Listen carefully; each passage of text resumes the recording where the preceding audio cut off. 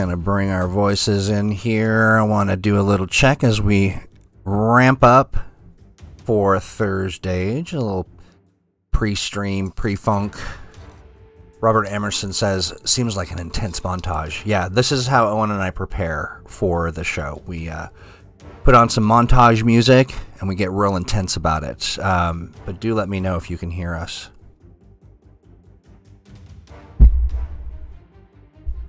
Yeah. Yeah, we don't allow it. Do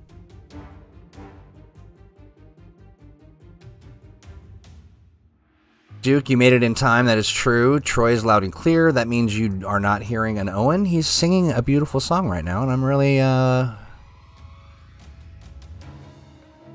I'm really bummed um, to hear that because he's he's really putting his all into it. It's really, it's kind of moving. It's a very touching song that he's singing. It's called "If I Were a Thursdage." Oh, and I'm gonna. Be, oh, go ahead. You do, that's true. I'm gonna hit a button and you're gonna be like, I hear my voice, I think. Would you give it a test? Okay. Let's see what the world says. Hey, Jason Waltman, good to see you. Brian F. Irving's here. Jonesy says I sound good. Thank you. Um, Owen, hi. Let's see. Is Owen squeaking? that might be me.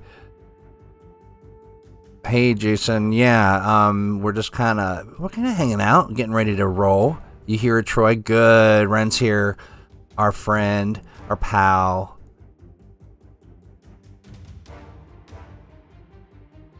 Yeah, they don't hear you. How about this? Oops. Well, let's try. Yeah, well, I bet we'll end up hearing. Um, I bet they'll say, "I hear you."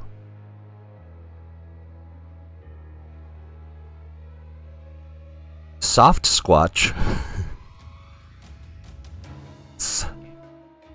oh, like the actual. I thought you said like soft squatch. right? I can tell you can hear your voice. Must be a little rattling.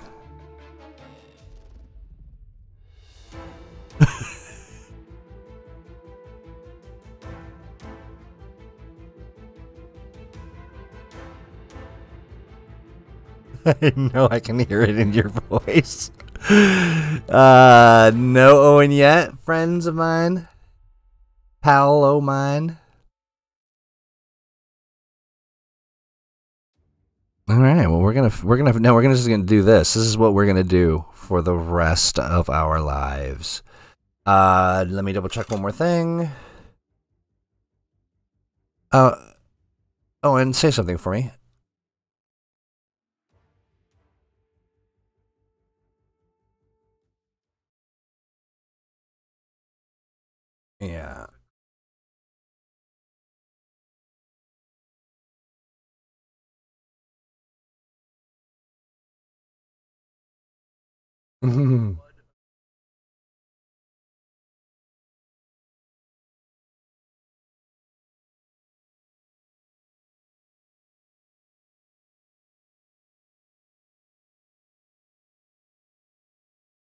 All right, Stan.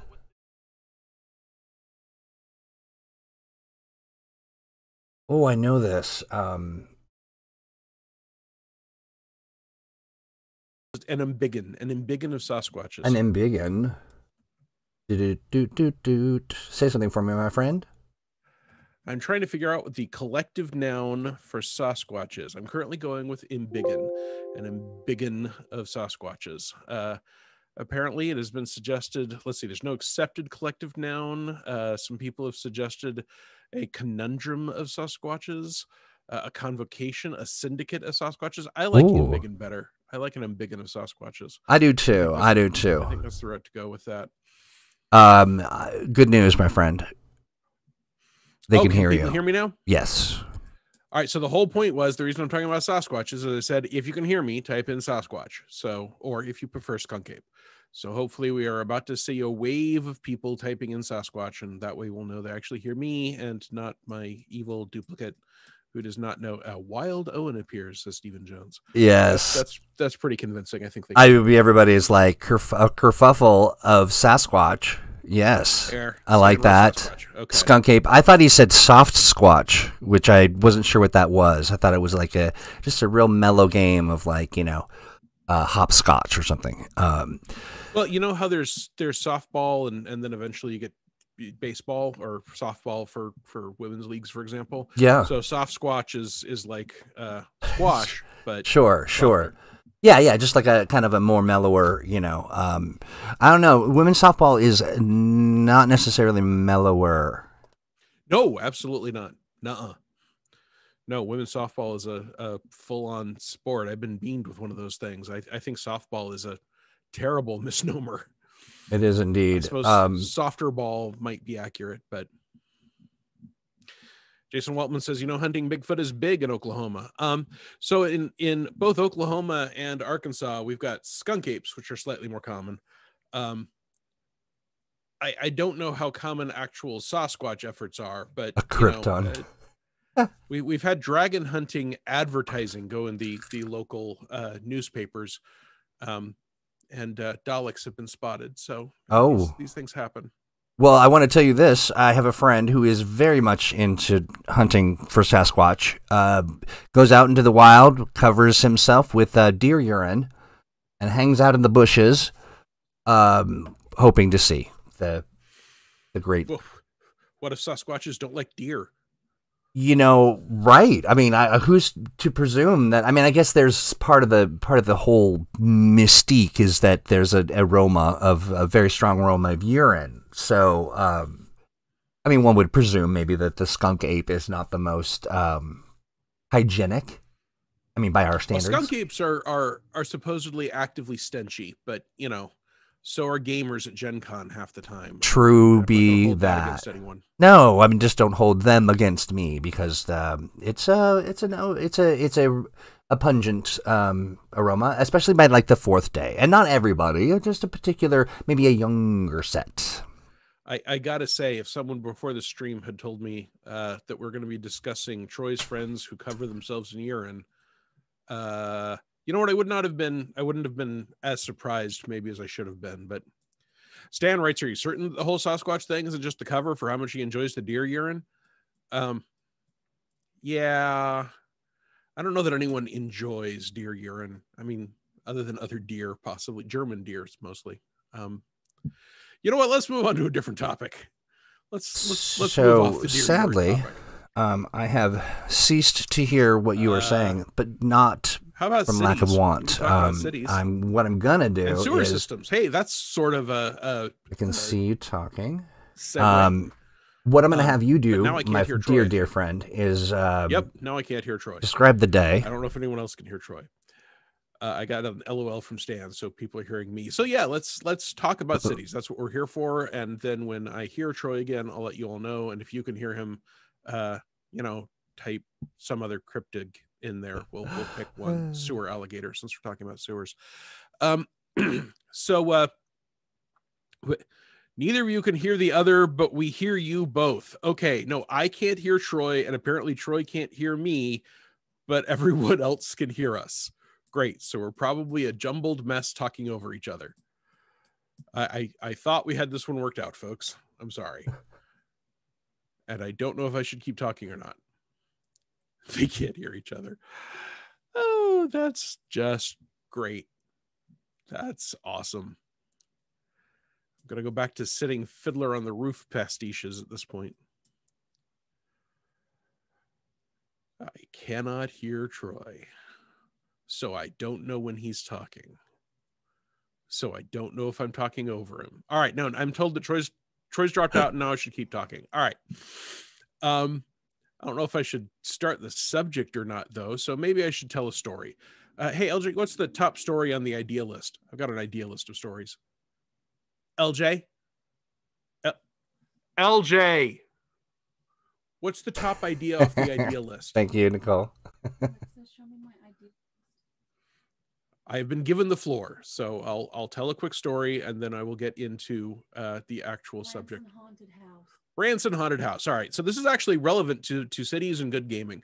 Um, so for our I think 15th wedding anniversary, my wife and I went to Branson, Missouri, because my friend my uh, parents have a timeshare there um, which we've been to once, and I believe they have never been to, but I could be mistaken. They might have made it at some point since then. Um, and we went during the off season because it's a timeshare, and there were still lots to do. We went to a butterfly house, which if you've never been to the butterfly house up there, it's gorgeous. Uh, there are like literally hundreds of thousands, if not millions, of butterflies, uh, and you can walk amongst them, and you're not allowed to to touch them, but they can land on you.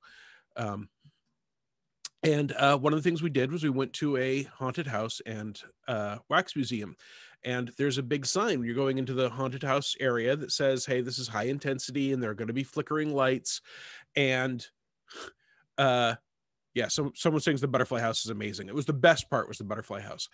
Um but the haunted house sign said there'll be flickering lights there's intense themes it can be scary and there will be actors within the haunted house. They will not touch you you cannot touch them uh, and that you're agreeing to this by proceeding past the point of the sign. We thought that's reasonable. We're being warned that there are going to be people jumping out at us, going booga booga booga. We should be ready for that, but we shouldn't punch them right? Which makes perfect sense. Don't grab them.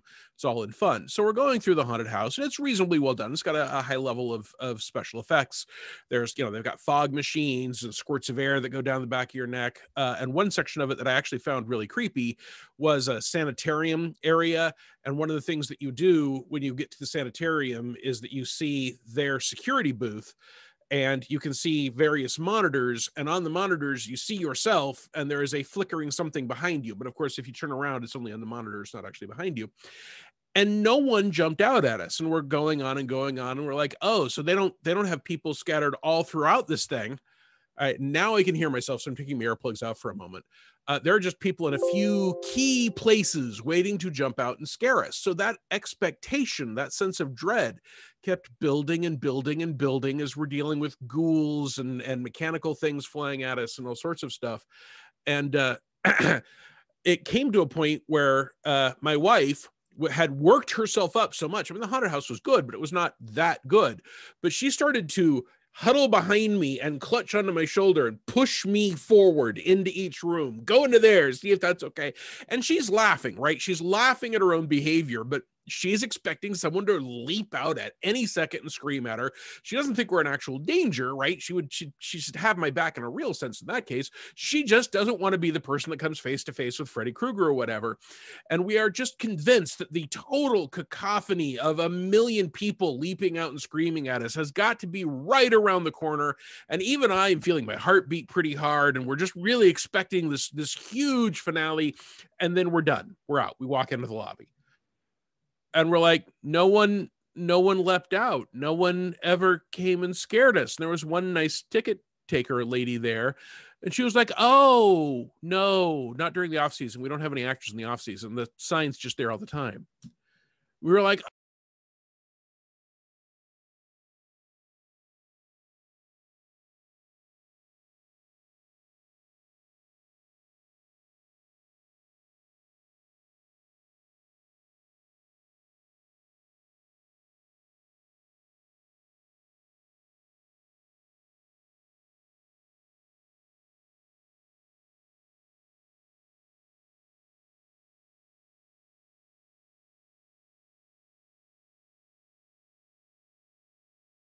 Um, and they lost Owen just as I was finishing the story.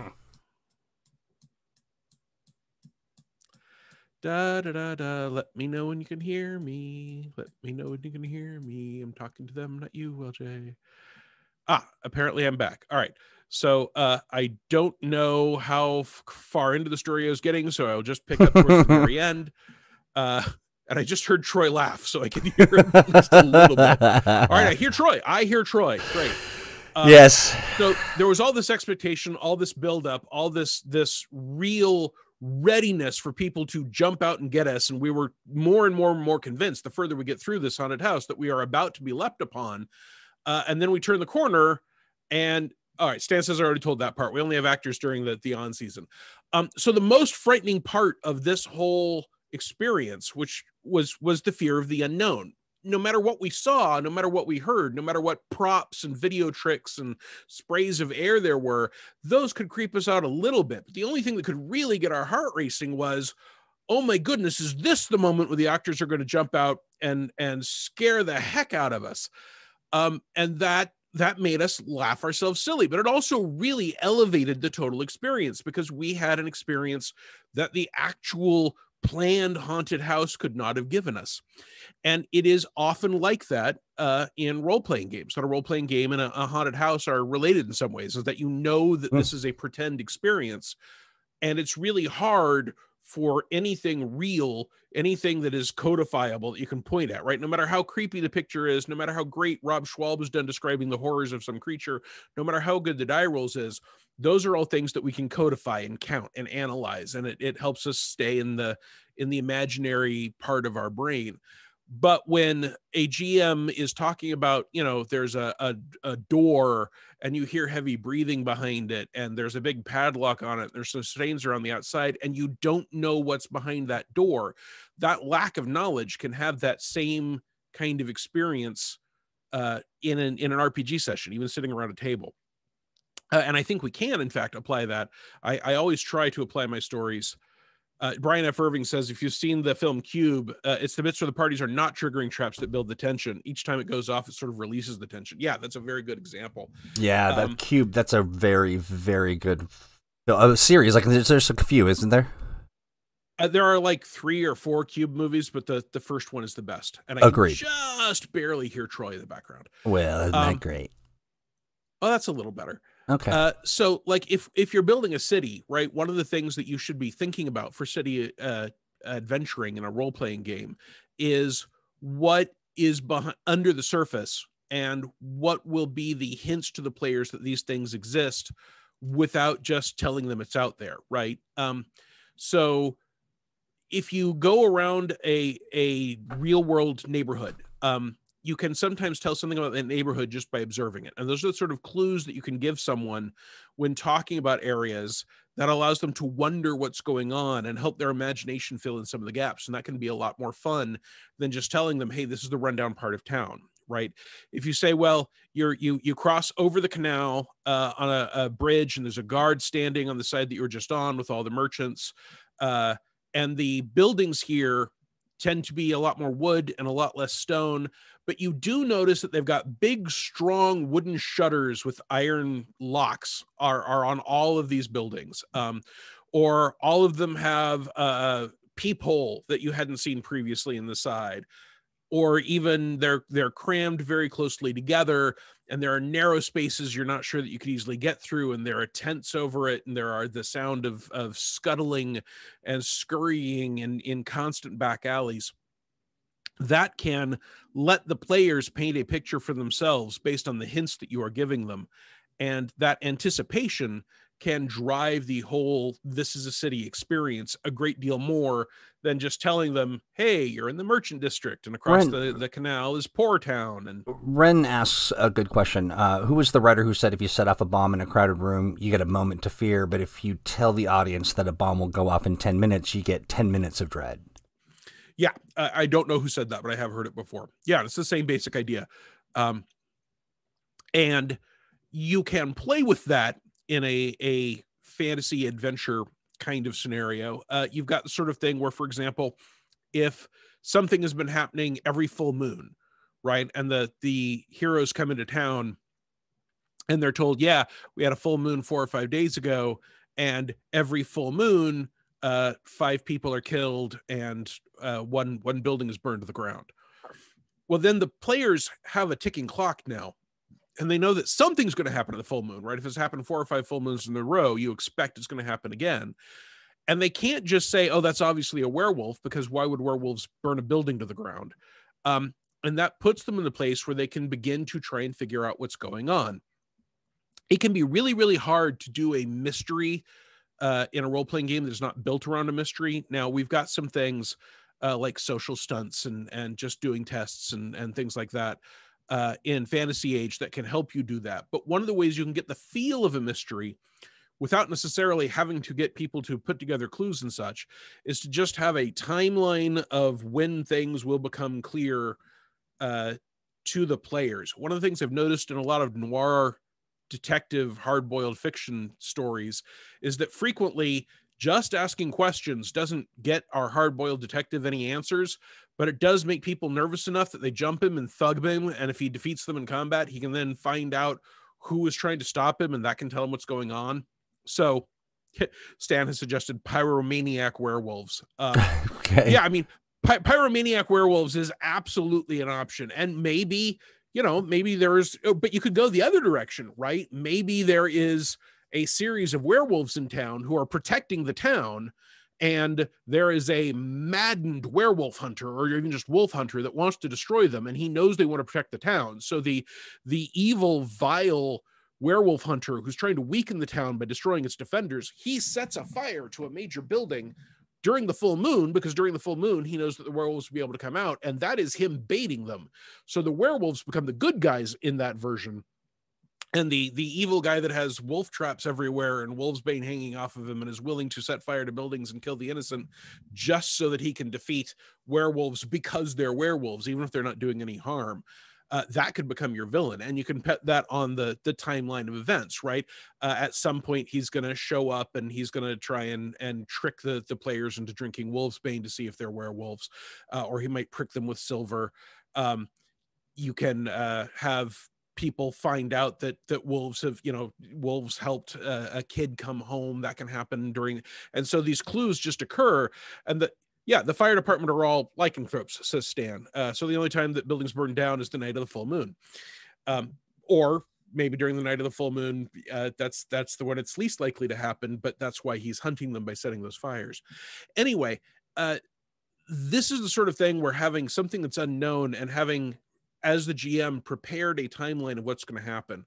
Um, that can also be a way to have things keep going that can draw player interest in if they're not interested immediately. Like if you note, okay, there are two major underworld factions in this town right? The the bunny centaurs run all of the black market hallucinogenic shrooms and they are in near constant state of not quite war uh, with the stiltmen guild who normally are are doing other narcotics and stills but they don't do the shrooms. Ren i see and you the by players... the way. That's brilliant. Uh and and you set that up and if the players aren't interested if you have created this timeline of urban events then you can say okay uh, a couple of bunny people were were kicked by stilt people and no one's sure who's responsible for that uh, and then someone's house gets burned down and then there's a small riot and these are how things proceed if the players don't get involved which means that you can just tell them hey you wake up I, I, know you all were not interested in this and you're going and you were delving in the dungeon and looking for the the secret palace of the were rat nobles uh, below the the aquarium area. But you should know that uh, your inn is now going to be charging twice as much money because they are hiring guards because there was an actual small riot last night uh, between the the bunny centaurs and the stilt walking guild. And that will will allow the players to decide are they going to jump on or not? But it also lets them know if you don't get involved in events that doesn't mean they're frozen in time right? This is not a a video game where there's a guy with a question mark over his head offering you a quest or i guess an exclamation point uh and he will be uh, quest this bang. is urgent and what? Well we call it quest bang yeah, a quest bang, exactly that. Uh, in in a lot of of online games and computer games, that quest bang is going to stay there even if he says it's really urgent we only have a limited amount of time. If you you know put down your game and and don't come back to it three months later and you've done 27 other quests it's still there and it's still urgent. So that gentle timeline of events is another way to let people know that this is a world where things are happening with or without you. And you don't want it to go straight to oh the entire town was burned down because you didn't leap into the immediately uh the, the first plot hook but they do get the idea of hey things are getting worse things are getting worse stan says uh, you should know that the bunny centaurs are tripping balls do we really um, need to know that yeah i mean there are you know depending on what those hallucinogenic shrooms do it, it might be that they've had to switch Brian Irving said, "Good grief!" Troy's voice came and it was so loud that both the cat and I jumped. Sorry, Sorry. Not, we were not trying to do jump scares here on Thursday. No, we're no. I mean, I am kind of, but that's just a everyday a thing for me. It's not necessarily by design. Troy, Troy jump scare Hewitt. Is that what you're doing? That's what they call me, old Troy jump scare Hewitt. I don't think anyone calls you that. They do not. No. Calls, no. Yeah. That, no. That they do really not. Super unlikely. Uh, hey, a question um, for you. So, yeah. so as you're as you're working, um, you know, you're you're building your mystery and you're, you know, choosing so carefully. Um, you know, you're holding it in, holding it on. You know, whatever the lyrics of the rest of that song is. Um, where are you? Where would you suggest people go? Because you just sort of had this encyclopedia uh, of odd creatures and you know sort of off the cuff um, you know uh, bestiaries you know like who knows what's going on in there um, where do people go when they don't have access to your noggin like what kind of resources do we have that they can pick up? Well first of all there is the fantasy age bestiary um, which has a, a, bunch of critters in it. Um, and it's it's uh, the pdf is available uh, on our website. I not sure, and you might find it in stores. I don't know if it's still in in uh, the distribution chain, but you can certainly buy the PDF, and it gives stats for a whole lot of creatures in it. Um, as for things like bunny centaurs and and werewolf firemen and stilt walking guilds, or um, flare wolves, if you will, yeah, flare wolves. That's great. Um, a lot of that just yeah, I I see that flare wolves was suggested. Yes. Um, a lot of that stuff comes out of my head just because I will allow any two elements to filter to the top and then I, I smoosh them together where they, they seem to make any sense or not. And then I try and make them make sense. Uh, and the reason I frequently do things that way, and I do it with everything, with monsters, with with city building, uh, with nationalities, um, l- real life is weird, mm. and real world mythology is weirder. I mean, we all accept things like the chimera because they are classic creatures from mythology. But when you think about it, saying, hey, here's a thing with three heads, and the three heads are from three different animals, and maybe and maybe it can't fly, and maybe one of the heads is the tail, and maybe one of the heads is up front, depending on what version of, of chimera you're looking at. Ooh, and maybe it's but um, it's its other head. Yeah, well, I mean, like one of the classic chimeras, right, is a lion with a, a serpent for a tail. So the serpent's head is at the tip of its tail, and just a spare goat head sticking up out of the middle. As you do. Um, that that is that is one of the classic chimera setups and that makes no sense. But because that's part of our collective zeitgeek we have all simply come to accept that multi-headed hybrid creatures chimera creatures eh, griffins hippogriffs whatever uh, are part of the fantasy world. But once you've made that jump it is not difficult to say hey uh, here there is a race of two-headed giants but one of the heads is always an animal head so there's a giant with a, a human head and a dog head and here's another one with a human head but his other head is an eagle head and here's one with a human head and a fish head and he can swim through the water i have a quick and question not, Zeit yeah. Geek, Zeit Geek, was that you? Did you just make that up, or is that a thing that's been out in the Zeit Geek? Uh, I I have used the term Zeit Geek for a number of years. To the best of my knowledge, I came up with it. I uh, want but, to. Yeah, we need clothing. I think. Uh, but there may well, you know, the, the Zeitgeek being what it is, other people may have come up with the Zeitgeek independently. So I'm, I'm not claiming that no one can have thought of it unless I used it. But I love it. Yeah, I love it. To the best of my knowledge, I coined that. The um, only the, the, best word I've made up is hog donker, and I don't think that applies in this case. Uh, I think the best word I ever made up was spunthole. Ooh. Because it doesn't mean anything, but it is clearly rude as heck. It, yeah, it's got a it's got a bad mouth feel. Yeah, it does. It's it's got that edge to it. It does uh, indeed. It's something I would not say in a crowded bar with bikers around. For right. just, just for any reason.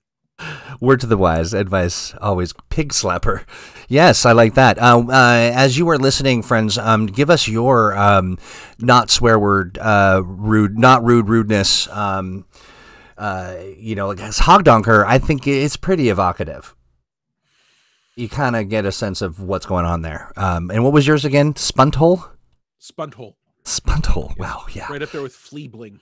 Um, Jonesy uh, did us a solid and dropped the Fantasy Age Bestiary um, uh, link to the Green Ronin store, so check that out. Frack is also good. Far Nibble, Ferp. Ferp sounds um, like kind of something a digestive thing. Ferp does sound like a or or a, a, a, nickname for someone. It was my friend Ferp. Oh yeah, um, yeah, I like that. So the bestiary isn't going to have things like those two-headed giants that I was talking about, um, but it does have giants and it does have things with multiple heads.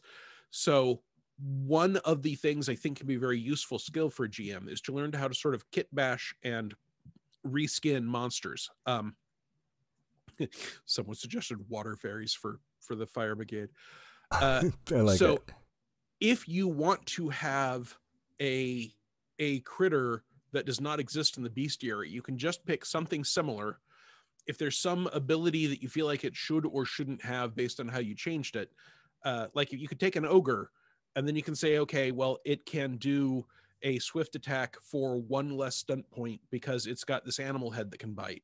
And then all the rest of that is just flavor, right? Um, if you want to say it breathes underwater, you just say it breathes underwater a lot of people get very much into not knowing i'm not sure if it's balanced and i don't know if this is reasonable and how do i how do i make something able to breathe water but one of the great joys of tabletop role playing games is that this stuff does not have to be machine readable, right? Right. So even if there is a specific ability out there that we've created called aquatic or amphibious or whatever that lets you breathe underwater, uh, you can as a GM just say it breathes underwater. It breathes underwater. That's it, how it's it yeah. Swim up to a certain speed, and it's two headed. And since the other head is a fish head, I don't think it's going to have a bite attack, and I'm just going to use ogre stats for it. What a nibble. The trick there is that the players don't know you're just using an ogre. So they have no idea is this two-headed ogre, one of which is is a fish head that that is swimming through the lakes and attacking people uh, on Bridgetown, right? They have no clue what that is. You get the whole effect of we're not sure how to deal with it. We don't know what its weaknesses are. We don't know if it's sentient and sapient. Should we negotiate with it? Uh, even though all you've done is slap the ability to swim and breathe underwater and a new description on the ogre from the bestiary. So I like doing that a lot. It's fast, it's easy, uh, and if you only make small changes like that, it's it's going to be close enough to being balanced, right?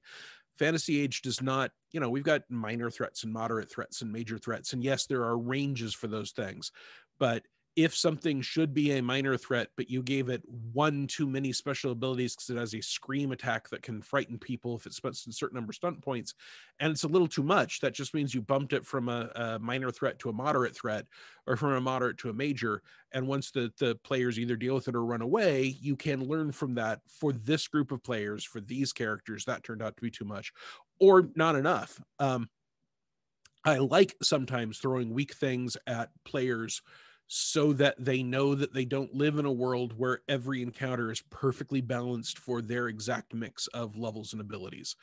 Uh, uh, like, a, you know, if oh, you're playing great mighty heroes and bandits jump out and and try and take them for all they're worth, those bandits might just be minor threat bandits that just picked the wrong people to jump out on. You know, I wonder if anyone's ever created like a dance bandit, like they come out and they just sort of dance at you furiously until you give them all your gold. I, um, sure, I, one arm bandits are a thing, so I'm positive. Oh, sure. Yeah. Yeah. That's true. Um, you know, I wanted, oh, you know, Brian, you bring, uh, Brian says, I was just making a point about, uh, weak opponents, uh, the other day. Uh, something else I was going to ask just in general is when it comes to populating your world, um, where, you know, this is directed to the, um, to the uh, honey buns and the oddest, the, the, the pig slappers, the FERPs, if you will. Um, where do you go, or how do you, do you you know kind of create your own stuff? Do you amalgam? Is it amalgam uh, of various pieces that you borrow of you know things that are particularly fun or tricky, or you know I, am curious. I'm I'm learning, and I, I, definitely enjoy kind of seeing where people get their inspiration. Um, so share with us if you will. Um, regardless of where it comes from, even if it comes from the dark recesses of your brain. Um, yes, dance off, bro. You and me. Dance off is a four point stunt. I like that. Dance you just keep absolutely a four point stunt. Keep dancing at them, and they just sort of go, "Oh no!" And then you know they run away. You having won the final dance battle. Uh, I like it. Um, how would you defend against a dance attack? Uh, probably some sort of morale test. I would I mean I'd pick something, right? It's you just pick a thing. This Right, man here we are. unflappable. This stat this for a for a special ability for a dance off. I like it. and I'm looking through it and I want to know what all the focuses are. And the reason I want to know what all the focuses are is I don't want to forget one because even when I know most of this stuff, right, uh, I don't want to forget something obvious. But here I've got what the abilities are. Uh, and I'm probably not going to resist it with accuracy. Communication's a possibility, not con, not dex, not fighting. Intelligence, maybe. Perception, probably not strength. And then we've got willpower, which encompasses mental toughness, discipline, and confidence. So if I'm resisting it as opposed to trying to win at it, right? I, am trying to just not get involved with an off at all, then I'm going to make that a willpower test. That's just who I am. And when I look at willpower, I see that willpower has as focuses courage, faith, morale, and self discipline. So if I'm trying to resist, uh, it's not frightening me, so morale probably isn't appropriate. Uh, courage probably isn't appropriate, uh, unless I have a god of stoicism. Faith probably isn't what I need, but self discipline seems perfect, right? This is a, a magic that is trying to cause you to be fun and dance around and have a good time, and you have the self discipline to resist. So I would say, okay, that is a a test for willpower with the self discipline focus. And one of the reasons that I like to go to what we've already got here in the book is that when I create special abilities like that, I don't want to say, hey, I'm creating a new willpower focus called uh, Stick in the Mud. And if you have Stick in the Mud, you can use it to resist having fun. And the reason I don't want to do that is, first of all, the game is already balanced with a certain number of focuses. So the more I expend expand the number of focuses in the game, the harder it is for people to cover a decent percentage of them.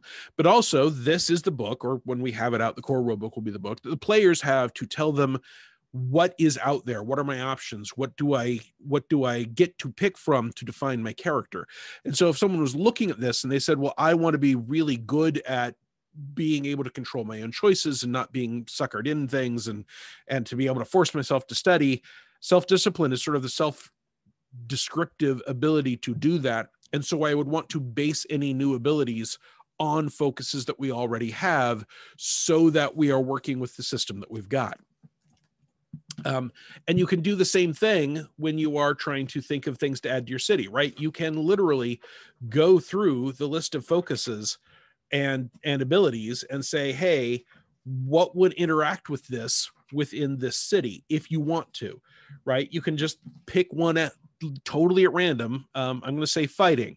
And fighting has axes, bludgeons, heavy blades, lances, polearms, and spears. Those are all specific weapons. But then you can say, well, does this city have some specialist set of fighters? Is there something it's famous for? Is there some group here that is well known?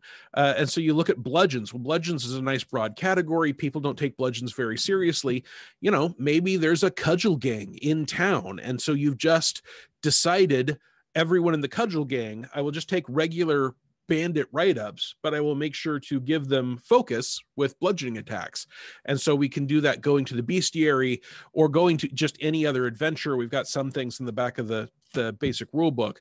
Pick anyone, right? Be it a bandit or an archer or whatever, and just say, okay, because these are part of the cudgel gang, I'm going to give them uh, a focus with fighting bludgeons, and that makes them this special thing that is part of this city and that all spawned from just looking at the focuses and seeing how the rules define the world and what can i put in the world that is well defined by those rules I love it. I love it. Um, you remain unflapped.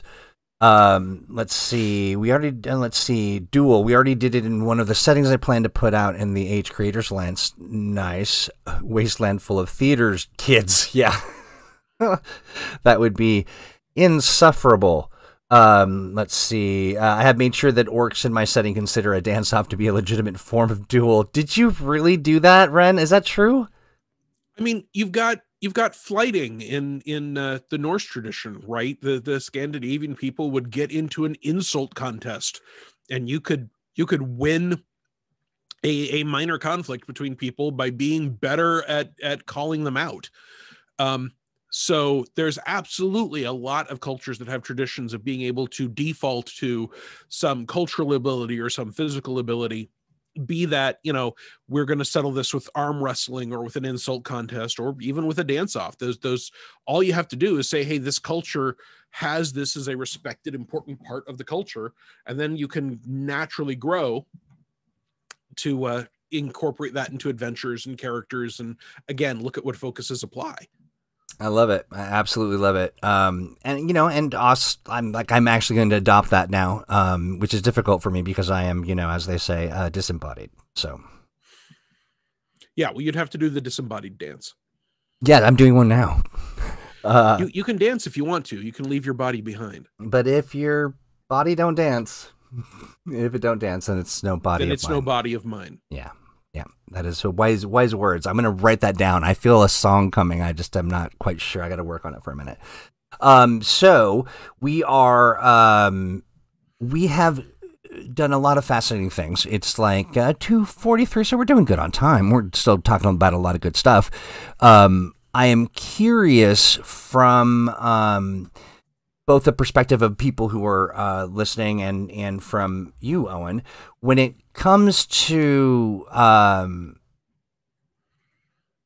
like when you uh, have uh, when you've used a, a, character or a type of character like you see like the Stiltwalkers or the you know the screamer the screamo screamies um, uh, do you have you taken any of those those sort of templates and then kind of grown them into a larger mythology or a larger sort of play a bigger role in a particular I, would love to hear that story.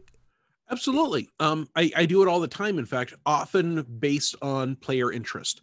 Uh, I added to a campaign a long, long time ago uh, that there was a charcoal burners guild, which were literally people that went out into the woods and burned wood and made charcoal, and that they were considered uh, one of the oldest and most powerful and wealthiest guilds, and they had a lot of political links, and people thought they kept secrets. And at first, that's all it was. There's just a charcoal burners guild, but in, you know, at the same time, I was talking about there's a smithing guild and there's a lamplighters guild and there's a, a, canal pole pushers guild. But the players hooked on the charcoal burners guild because burning charcoal did not seem to them like a thing that was likely to make you wealthy and powerful. So that then begins to build as they ask questions. And you say, well, you know, a lot of, of castles need charcoal, a lot of forging processes need charcoal uh, because they know the secret of making the best and most efficient charcoal. They've got specialty charcoals. They will sign contracts with nobles not to use any charcoal but theirs. Then they've got a monopoly. Uh, third sons from nobles frequently go to the charcoal burners guild, so it's got family contacts. But players kept digging and kept being interested, and that turned into uh, the Charcoal Burners Guild is a secret order of psychics who are hiding their powers, who have pyrotechnic abilities that they all claim are just various things that they've learned to do with oil and charcoal and naphtha and such. Um, and so there was this whole underworld conspiracy that all just grew out of one role that I threw out there that the players were really interested in and started digging into. And then I had players who wanted to play charcoal burners, and then the rules got fully written up. And that is how just a minor thing I, I don't want to flesh out that level of detail for every guild i ever mention if no one cares. But if you start with some surface level stuff you know here's here's a a, a tavern in town. Uh it's got a, a giant like 30 foot long spear holding up the main room of it. And there's a rule that if you slap yourself in the forehead, you get one silver off your drink. And then people are like, well, why is all of that? And you can start right. with, well, no one really remembers. That's just the way it works. And if the players drop it, you just drop it. It's just local color. There's there's yeah. an actual place uh, in Alaska where you can drink a shot that has a human mummified toe in it. Oh yeah, weird that, things yeah. just show up in the world. But then if the players are like, I really want to hunt down, you know, find the the old storyteller that knows why is slapping yourself in the forehead, give you this bonus, and then you can build a bigger, broader mythology out of that and discover that you know this is the place commemorating where they signed the treaty between the titans and the brain eaters and that you had to slap yourself in the forehead to prove that you didn't have a little slug there um, and that that grows into a broader mythology that no one would have cared about if you'd said hey there's a plaque on the wall that says this is where this this happened and there's a big long history and there's a rundown and there are five pages of background for people to read um, i find it much easier to just put and it's a good idea if I've got some idea what I'm doing, although I am myself reasonably good at just making up BS off the cuff and spitting it out into something. Yeah, it's one of my favorite things. Um, but uh, all I need to start with is a, a few little interesting notes that are non-standard. And that can have a lot of uses. Having you know if if the long spear is the name of that tavern it's the long spear tavern it's the one with a 30 foot long spear holding up the great hall um, players probably won't remember Mortimer's House of Spirits and Gruel, just because it's a long, weird name that does not connect to anything. But in my experience, if it's just a Long Spear Tavern and the Long Spear Tavern literally has a long spear in it, they will remember the name of the Long Spear Tavern. Or if they don't remember the name, they'll remember, you know, that place that has the javelin up in the rafters.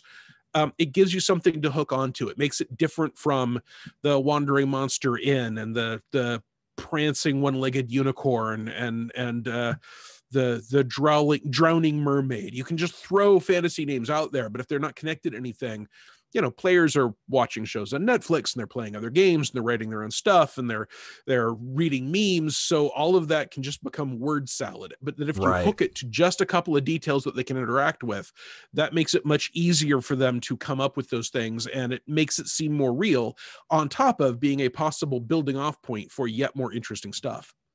I love it, especially if you're working in theater of the mind, less of a you know sort of a space where people are like, "Hey, what, what part of the city was this? That the scream? What would you say? The, the prancing one-legged unicorn? Yeah. Old hopscotch, we called him. Um, Yeah, absolutely. See, now you're doing it. And they've got a drink called the hopscotch, which is just scotch with some extra hops in it.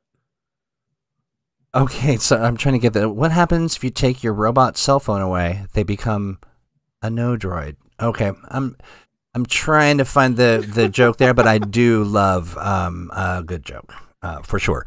Um, okay, well, I love that, and um, uh, you know. Have you been able to incorporate like um you know we, we talked a bit about the you know me being the the jump scare um you know of, this particular broadcast. When um when you're thinking of like your reoccurring or returning villains or you know sort of the you know if they're part of like this a gang or a guild or something and you deal with the you know sort of this these reoccurring characters who are out you know uh, what did you say uh, smuggling charcoal and such um uh have you like how often have you taken the thing that you've created and because it was so great you i mean because it worked so well you moved it into um you know other other storylines or other plots or other games that you were playing with other people um are there those all kinds the of moments yeah yeah all the time. Um, anything that is cool and pop. So there's a concept of something being fungible, and fungible means that it has a value in and of itself, disconnected from the units around it. So you can lift it up and put it someplace else, and it still has value. That's being fungible. yeah Um, like gold is fungible, right? Gold has a value that that is recognized in and of the gold. Um, there are ideas and pieces and things that are fungible that are are easily removed and moved around and, and you can bolt to other things um, i think for 20 years now it has been relatively common in my campaigns to discover that the most alcoholic worst tasting drink uh, in any given city is black dog black which is just a thing called black made by a brewer called black dog Mhm. so people people that I've been playing with for 30 years will remember that there's a thing called Black Dog Black. It just rolls off the tongue for them.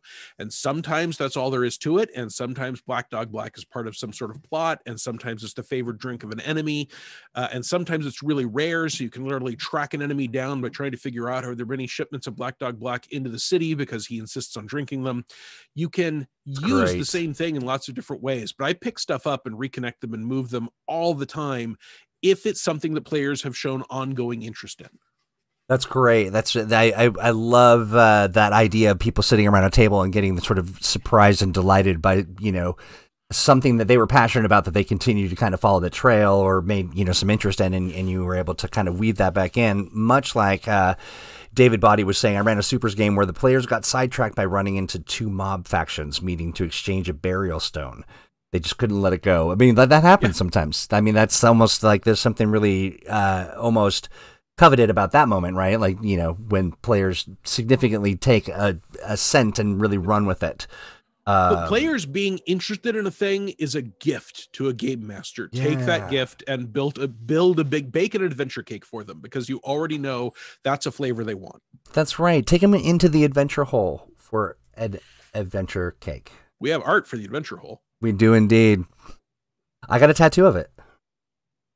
I I am 100% believe that you got a tattoo of the adventure hole. I have no doubt whatsoever. I didn't. I didn't. But that would be funny. Um, I It would. be like, "Hey, you want to see my adventure hole?" Um, let's see. Uh, Brian. Brian. Uh, right back to things we probably shouldn't discuss on the air there. Truth. Oh yeah, no, I guess I didn't put that together. Um, that's a big secret. I'm not supposed to tell anybody about it. Uh, Fantasy Trading in my game, uh, famed for its friendliness and for making the worst cheese ever. Although the goblins seem to love it. That's great.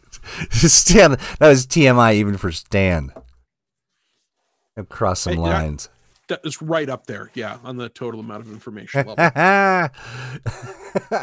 I love it.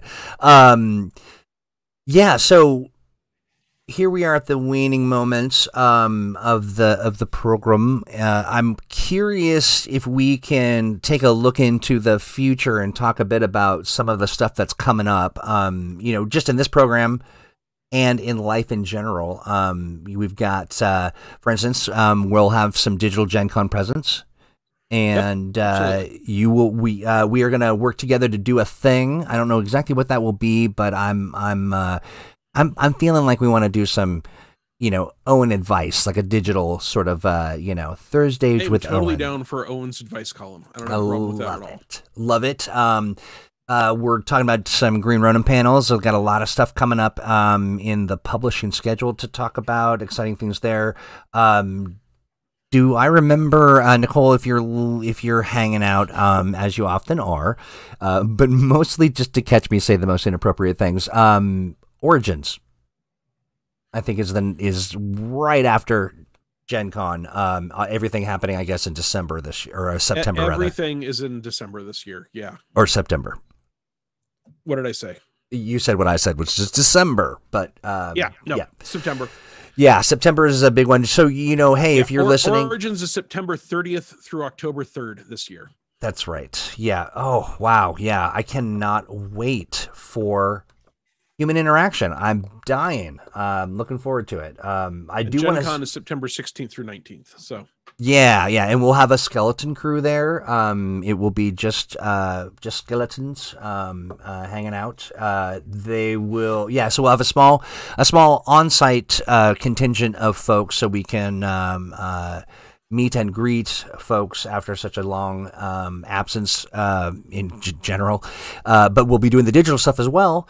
And uh, I'm trying to think. Oh yeah, yeah. If you are a uh, free booter if you are somebody who has run games and uh, would like to do that either digitally, uh, in person, we're we were kind of taking that uh, uh, down a couple pegs in the in the hierarchy of uh, of event stuff uh, for safety.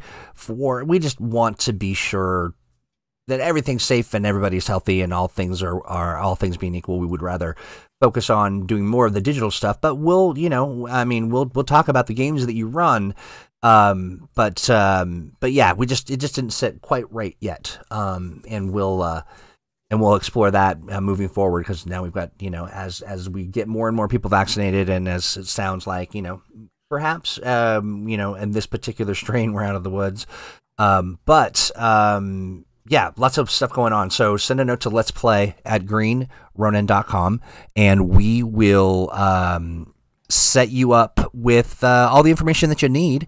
Um, Owen, how about you? What do you got cooking outside in the you know in the world at large? Uh, so my my publisher, uh, my company that I am the publisher for Rogue Genius Games, still currently has a Kickstarter for a Starfinder product. Uh, people can check that out for uh, Species Reforged. We're very excited about it. We're in our last week of that.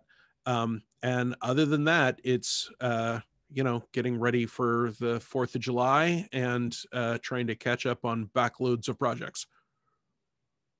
I love it. Um, yes, uh, Nicole says genderless skeletons manning the Gen Con booth. So yes, look for they and them. They will be hanging out, um, uh, ready to share Green Ronin goodies with you. Um, yes, so yeah, so lots of great stuff coming on. The Fourth of July is. Um, I am looking forward to that as well. Um, I am also, you know, I've not really dug into Starfinder stuff. I want to just because I'm just it, everybody in my proximity has, you know, had some dabbling there, so I should, uh, I should do that for sure.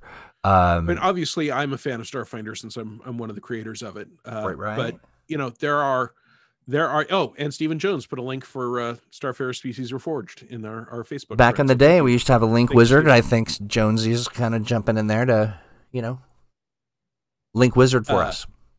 but there are so many role playing games at this point that you know if if there are good ones passing you by, that's fine. Just right now on this stream, just want to make sure that you're buying Age products. So go out and buy Dragon Age, Fantasy Age.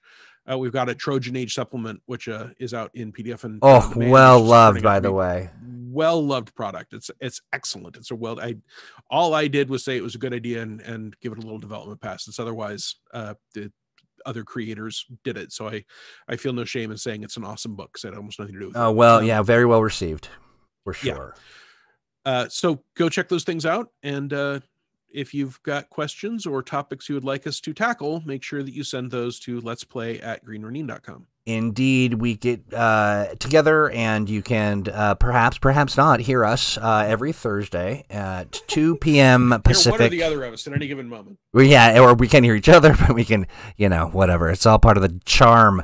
Um, but I do want to encourage people as well to. Um, we are about ready to open the doors on the uh, Age Creators Alliance. There's a couple people who were waiting for some final touches on a thing, and you know who you are, but get it done. We're gonna uh, we want to do that very soon so that people can dive in and have some fun with that. Lots of great work going on, um, but um, you know people are, are taking their sweet time. So uh, um, that uh, that yeah, hurry. Um, but that is that. Uh, I think that that's about it for me. Uh, I want to thank everybody who hangs out and um, and listens to us as you can, as you are allowed, as you are able. And uh, we certainly enjoy it. It's a lot of fun to come hang out with you.